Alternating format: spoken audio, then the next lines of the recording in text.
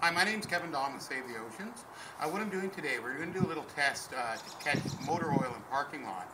In parking lots, what I've done here on this big uh, containment grid is I've built basically a filtration system that you use around drains or wherever you get runoff from parking lot. Um, as you know, oil drips on parking lots, the rain hits and it runs down the drain. In this demonstration, it's going to be a bit exaggerated. We're going to take black motor oil. And what we want to do is just pour it on the surface here. Get a nice big glump of it.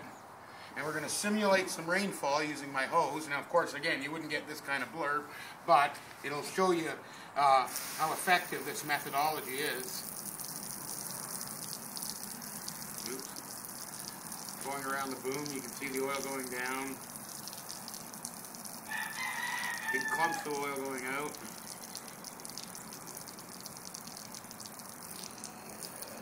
Maybe we need a bit more water pressure.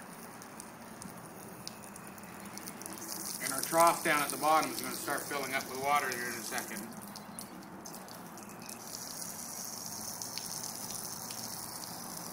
And what you're seeing in there, by the way, that is our super absorbent material. What makes it completely unique among boom material is it actually will filter off uh, sheens of water. So you can use it in the bilge of a ship, you can use it in all sorts of applications.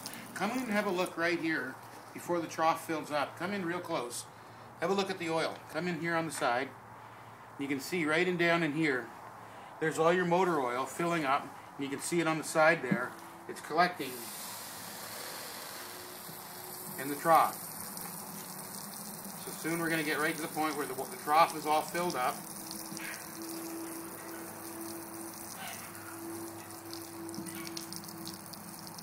Oh, it's getting around the boom a little bit, but that's okay.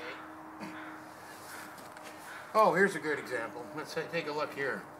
You can see how the oil starts grabbing right onto the boom. Now come here real close with the camera, right in close. You see the clean water on this side and the solid oil on this side. What's happening is the boom just sucks it in and the oil will actually go right through the entire boom material and this boom will expand up to six times its weight. We've taken six and a half pound booms out of containment systems and they come out up to up to 30 pounds of solid oil. You can see again, even though this is completely exaggerated, you'd never get this much oil. Here's your water coming out the side here. Have a look.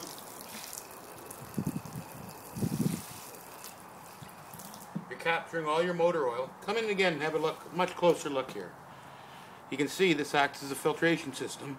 And there's your clean water running down the side. We got a little leak but we're grabbing all our motor oil. So that's how you keep uh, engine oil from parking lots. So the way you'd use this in the real world it's a simple design for an engineer. You cut a square around a drain, you put the booms in the drain, and they'll last up to six, seven, I'm um, sorry, they'll last up to three years sometimes in a contained area and uh, eliminate your urban runoff. So that's how it works.